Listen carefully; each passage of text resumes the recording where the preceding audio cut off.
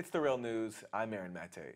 In 1965, the Indonesian general Suharto launched a genocide that killed hundreds of thousands of civilians. Suharto's campaign targeted communists and dissidents and led to the overthrow of Indonesia's first president, Sukarno. This happened with critical U.S. support. And now a release of classified documents helps explain how. The documents show U.S. officials received regular updates and cheered as the bloodbath unfolded. They offered help to quash media coverage and even supplied a list of people to, to target. What emerges from these documents is the vital U.S. role in what Human Rights Watch calls one of the 20th century's worst atrocities. Joining me now is Brad Simpson, Associate Professor of History and Asian Studies at the University of Connecticut. He is founder and director of the Indonesia and East Timor Documentation Project at the National Security Archive, which made the documents public last week. Welcome, Professor Simpson. Before we get into what these documents say, can you provide us with a little bit of background on what they're talking about? The situation in, in Indonesia, a place where the U.S. had been trying to undermine Sukarno for many years before 65. Yeah, and thank you for having me on, Aaron. In Indonesia, in the early to mid 1960s, President Sukarno, Indonesia's founding president, and an anti colonial radical and a figure of third worldism and non alignment throughout the world, had been growing increasingly radical as the country was basically split between the Communist Party, the army, and Muslim and other conservative religious groups. Now, the United States had once before tried to overthrow Sukarno and break apart the country in the late 50s by helping to provoke a civil war. And after that civil war uh, collapsed in failure, the U.S., under the Kennedy administration, set about trying to cultivate the Indonesian army as an ally and to engage in covert operations that they hoped would lead to a clash between the army and the unarmed membership of the Indonesian Communist Party, which was one of the world's largest at the time. By 1965, Indonesia was embroiled in a low intensity war with Britain over the formation of Malaysia. The US was embroiled in Vietnam. And the Johnson administration, fearing the growing power of the Communist Party, had accelerated these covert operations in the hopes, as many Western officials put it, of inducing the Indonesian Communist Party to launch a failed coup attempt in the expectation that the army would defeat it and then hopefully exterminate the Indonesian Communist Party. Something like this happened on September 30th, 1965, when a few high ranking members of the Indonesian Communist Party, known as the PKI, uh, collaborated with a number of Indonesian military officers to launch an attempted purge of the armed forces. This September 30th movement was very quickly defeated, and in the aftermath of the movement, General Suharto and his allies launched what historian John Roosa has called a counter coup, in which they used the pretext of the September 30th movement uh, as an excuse for launching a campaign of mass against members of the Indonesian Communist Party, other affiliated organizations, and basically anyone who they thought might stand in their way. And over the next five months, uh, between October and March of 1966, the army and its paramilitary allies killed somewhere in the neighborhood of 500,000 unarmed civilians and imprisoned up to a million more, all while the United States provided crucial political and military and economic support. Oh, sorry, over how long a period? Over a five to six month period from October of 1965 to mid March of 1966. So that's a relatively short period to kill that many people. The victims number up to what, a million? The best scholarly estimates are that around 500,000 people were killed and up to a million more were imprisoned. And the Indonesian army at that time uh, was a relatively small institution. There was great concern over the loyalty of many army units. And so General Suharto relied on the largely Western trained and equipped special forces brigades, uh, which were under his command and which were loyal to him rather than the Indonesian president as the sort of spearhead for, for launching these campaigns in various parts of the archipelago. The mass murders began first in the northern Sumatran territory of Aceh, and they worked their way across the archipelago. The army would usually arrive in force with its special forces brigades. They would engage in some demonstration killings. give weapons and brief training to allied paramilitary groups, and then set them about their task and then move on to the next region of the country. And we see that over the course of these many months, that as the United States became aware of what was happening, uh, that it began to work with the Indonesian armed forces to, to inventory its needs for waging this campaign of mass killing and to provide it with a small but crucial amount of covert military, technical, financial, and communications assistance that enabled it to carry out this massacre. So, inventory its needs, how? Well, right after the September 30th movement failed, the Johnson administration set up an Indonesia working group comprised of members of the National Security Council and other related and interested organizations to begin inventorying the Indonesian army's needs in the event that they decided they wanted to move against the PKI. There was a recognition, as these documents that we recently released show, that the Indonesian Communist Party as an organization had almost nothing to do with the September 30th movement, that at best a handful of Communist Party leaders involved, and that the rest of the organization, which numbered upwards of 3 million people, had no to no knowledge of what was happening and was therefore being targeted for murder and arrest solely for being members of a legal political party, which the Indonesian Communist Party was in 1965. The only problem is that Sukarno had made anti-Americanism a staple of his of his uh, public campaigns against the United States in the 1960s, and U.S. officials were, were very reluctant uh, to ensure that any assistance they gave to the army remained hidden and covert. And so they had to rely on, on providing a limited but nevertheless crucial amount of covert assistance that would enable the army to carry out its campaign of mass murder while at the same time masking the role of the United States in providing assistance. You know, I want to get more to the U.S. role in a second, but I want to ask you about Sukarno, uh, the president who was overthrown by General Suharto. Sukarno made overtures to the U.S. early on, right? But he was rebuffed. I remember he he went to visit and he visited Kennedy. He tried to foster a relationship with the U.S. Uh, but meanwhile, the U.S. was trying to overthrow him. So it makes sense. It's not that he came to his anti-Americanism out of some animus towards the U.S. in general. This was a country that had been trying to overthrow him for many years, right? Yes, the U.S. had already tried to break apart Indonesia through a massive covert operation in 1957 1958, which led to the deaths of at least 10,000 Indonesians. And President Kennedy had made overtures to try and rein in Sukarno and his militant brand of, of anti colonial nationalism. But it became clear that Sukarno was unwilling to pay the price demanded by the US, which included a restructuring of the Indonesian economy along lines demanded by the International Monetary Fund and the World Bank a sort of early version of structural adjustment.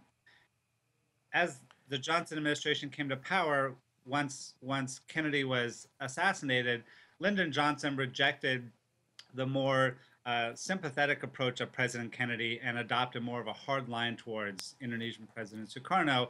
And as a result, Sukarno began to tilt Indonesia more and more in the direction of the Soviet Union and China, uh, both of which were also attempting to curry favor with the Indonesian Communist Party. In 1965, the Communist Party had aligned itself with China against the Soviet Union, and that raised the prospect for American officials uh, that the Indonesian government might align itself with China and thereby negate the, the, the strategic importance of Vietnam in the war in Indochina and cause a great defeat for the United States in the Cold War. Professor, you know, there's something interesting there uh, that I just, I just want to point out. So the hard line of Johnson that you mentioned was supporting mass murder, right? But the soft line of Kennedy, you mentioned this earlier, that he still launched a covert campaign to influence the Indonesian military, right? And also, as you said, to get Sukarno to accept um, Western economic policies that, that he didn't want.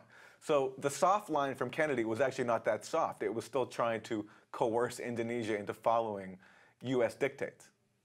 Yes, in the early 1960s, the Kennedy administration launched a massive military aid program to try and turn the Indonesian army and select units of the Indonesian army into counterinsurgency forces, basically equipping them to wage war against their own population. The United States also helped to create the, the mobile police brigades, uh, which were one of the crucial uh, institutions and organs of repression in the Suharto period after Sukarno had been overthrown. But Kennedy believed that Sukarno could be induced with economic and military assistance as well as diplomatic support on issues that were of great concern to him, such as recovering the territory of West Irian or West Papua from the Dutch, that he was willing to, to some degree, accommodate Sukarno's radical nationalism. Johnson, when he came to power, uh, simply rejected this policy. And as the U.S. escalated the war in Vietnam, uh, uh, Lyndon Johnson turned to a much harder line, a much more interventionist line. And in August of 1964, right as the United States launched Operation Rolling Thunder in Vietnam, the CIA launched an expanded program of covert operations aiming directly to provoke an armed clash between the CIA or between the army and the Indonesian Communist Party.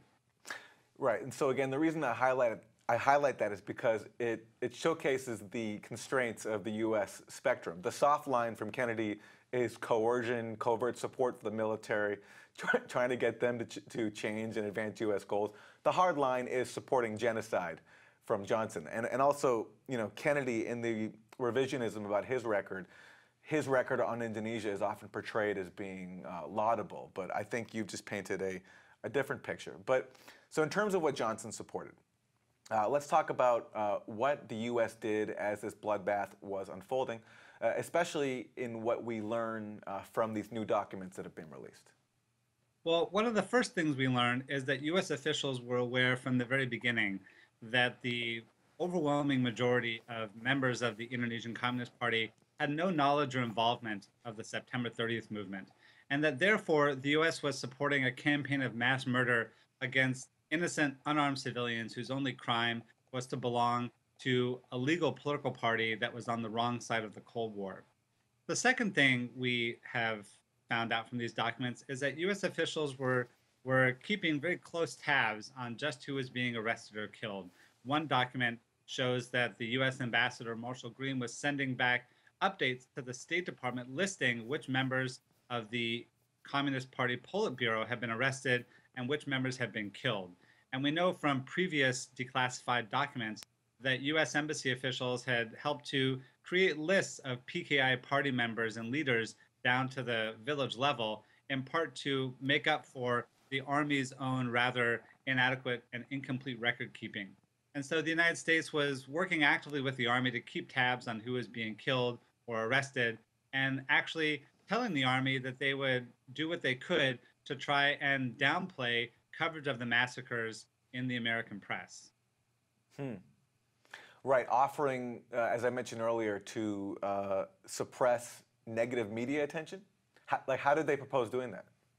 Well, there was very little that the U.S. could do to directly influence media coverage, but what the Johnson administration could do and what the U.S. Embassy could do was to try and keep very closely to the Army's line, blaming the events of the September 30th movement on uh, Communist China, suggesting that the PKI was itself preparing to launch a bloodbath in Indonesia, and basically regurgitating Army propaganda at face value for American audiences as reflecting the true state of affairs in Indonesia, rather than an army campaign designed to whip up hatred against the Communist Party and justify the massacres that were then underway.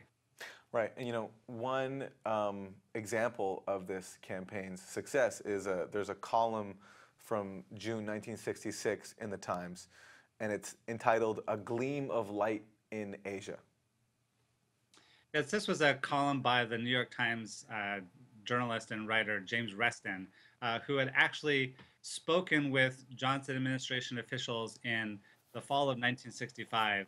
And Reston wrote after the massacres had com- been completed that, that Indonesia was a ringing success for the United States and Southeast Asia in the midst of a disastrous war in Vietnam. But in November and October of 1965, Reston was actually meeting with the Assistant Secretary of State at the time, a man named George Ball, and urging uh, Ball and other members of the Johnson administration that the Indonesian army uh, had to strike quickly and strike hard. And Reston, uh, I have a, I've found a memo in which Reston tells George Ball that if the Indonesian army strikes quickly, they have the chance to wipe the earth with the PKI, and if they don't take advantage of this opportunity, they may never get another chance. And I think that this suggests that many American officials recognize that although the virtually everyone in the Communist Party was uninvolved in the movement, that this was nevertheless a crucial opportunity to annihilate the largest communist party outside of the Soviet bloc and to destroy the mass-based alternative to a military dictatorship in Indonesia. And U.S. officials acted uh, enthusiastically to support this campaign. So, you know, it's interesting to talk about how the New York Times covered it back in the mid 60s and how the New York Times covered it now. So, back then, a columnist, as you say, called it a gleam of light in Asia. This is how, though, the New York Times uh, described the, um, the documents that you released last week when they reported on it. Their headline says the U.S. stood by as Indonesia killed a half million people, papers show. Professor Simpson, your thoughts on that uh, phrase, stood by? Well, the phrase stood by suggests that the U.S. was an unwitting bystander to the massacres as they unfolded rather than an accomplice and an active participant. Um, I know that the journalist for the Times who wrote this story is relatively young and does not write about Indonesia uh, for, for her beat. Uh, so I think that it is important to recognize that this is not just a a problem of, of the lack of perspective by the American press, but the lack of area knowledge on the part of many Western journalists who know virtually nothing about Indonesia and don't know the, the history of U.S. relations with Indonesia and with the Suharto regime more generally. But the New York Times has, has long uh, been reluctant to, I think, frame the story of U.S. relations with Indonesia as one in which the U.S. is an active participant and accomplice in what the CIA called one of the great massacres of modern history. And I think that this is a line that is often a line that is often endorsed even by uh, mainstream progressives and liberals such as Samantha Power in her book A Problem from Hell, in which she tells a gives a laundry list of genocides in the 20th century in which the United States was a sort of passive bystander refraining from using its generous and benign power to stop these sorts of mass killings from taking place, rather than viewing the United States as a sometimes willing participant and accomplice in helping murderous regimes to carry out these massacres in the first place. Right, and that right there is the outer limit of acceptable criticism in the uh, in the political spectrum of U.S. policy. It's that we were well-meaning bystanders who didn't do enough. So, Right. So finally, Professor um, your thoughts on you know what the release, what what this batch of documents means, and what else needs to be done because there are still some documents that we haven't seen yet. Well, there are many documents that remain to be released from the Central Intelligence Agency, the Defense Intelligence Agency, and other executive branch agencies. I hope that these documents support the ongoing calls by Indonesian human rights and civil society organizations for the Indonesian government to both acknowledge the magnitude of the crimes of 1965 and 66 and to do something to ensure accountability for the perpetrators and justice for the victims. Right now, Islamic organizations in Indonesia, the military, and others are attempting to revive the, the club of anti communism as a weapon for waging war against human rights activists, against LGBT activists, against women's activists, and others, including even uh, Indonesia's moderate president Jokowi, in an attempt to turn back the clock and help the military and conservative Islamic organizations to regain some of the, their power.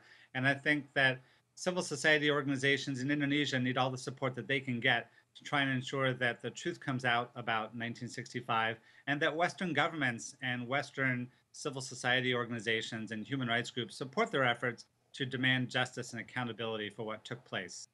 Brad Simpson, Associate Professor of History and Asian Studies at the University of Connecticut. He is founder and director of the Indonesia and East Timor Documentation Project at the National Security Archive, which has just released these new U.S. documents. Professor, thank you. Thank you very much. And thank you for joining us on The Real News.